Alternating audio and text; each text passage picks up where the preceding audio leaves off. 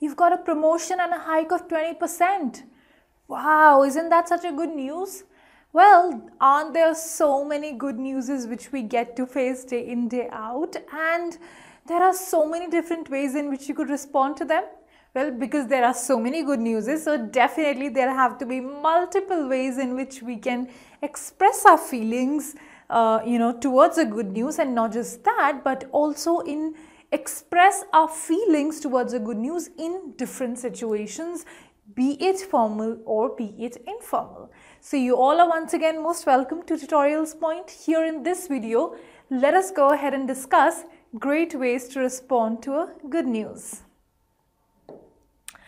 Okay, so first let's look at a few professional responses. Okay, now how is it? I mean, whenever you are in a professional environment, definitely whatever you speak has to be very, very polished. Your the way in which you express your emotions cannot be way too high or way too low. So you got to be very, very sort of cool, calm, composed when you are expressing your feelings. So here, let's say you got a good news and now you have to respond to it, but in a professional manner. How do you go ahead? Well, here's the first one. That's great. That is amazing. That's that's a great news to hear. Okay, well done, well done, my friends. You've got a, you've done a good job. Okay, I am so glad to hear that. I'm so glad to hear that. Or for that matter, I'm really glad to hear that. So again, a polished, uh, sort of well chiseled way of uh, responding to a good news in a formal environment. Okay, wonderful. Thank you for sharing. So again, a very formal way of responding. You also could use these sort of phrases if you are responding to an email, right? So there also these phrases could be of good use to you. Okay. I am or we are very happy for you. So again, a very formal, polished way, calm, composed way of presenting your happiness towards the good news. Okay. Congratulations. As simple as that. Nothing. No uh, sugar coating done on it. It's direct congratulations.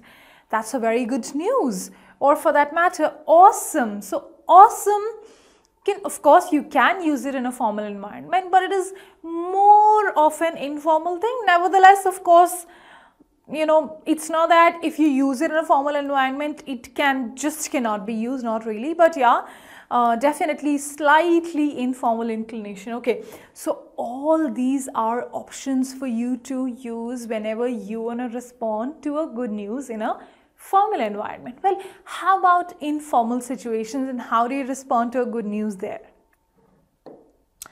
Okay, wow, that's awesome. So again, here you have the freedom and the slack to express your emotions, your feelings, your expressions the way you want to because it's informal, right? Okay, fantastic, great, awesome. So again, something, these words which express overwhelming emotions. Okay, that's amazing. That's such a good news to hear. That was, that was great to hear, right? Okay, I'm thrilled to hear this. Again, all these words which are used here sort of represent peak emotions. They are not very calm and sort of composed sort of emotions. They are peak emotions and obviously you are allowed to use as because it is informal.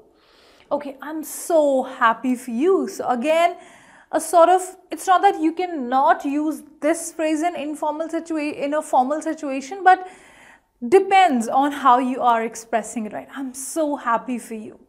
Okay, congratulations. Well, as I told you, congratulations is, you can use it anywhere, formal, informal, both the ways it works.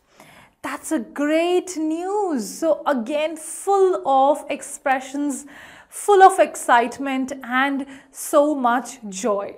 Okay, I can't believe it. That's great.